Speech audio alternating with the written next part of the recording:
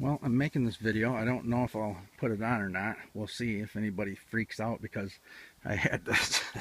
this is a sign that my wife's aunt made her.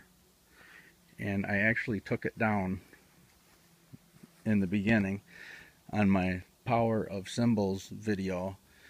And uh, I put it back up because she's almost having a heart attack anyhow and I really didn't want her to have a heart attack. So I mean, I took down all of her, all of her other stuff. I actually counted it afterwards, and there was 38 suns and stars and sun mirrors and stuff like that that were all over inside the house and decorations on the outside of the house.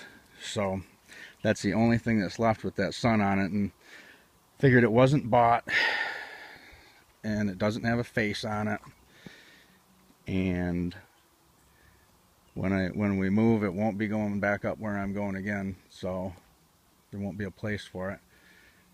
So I put that back up there for that. Doesn't mean that I'm some sun worshiper. Trust me I'm the farthest thing from that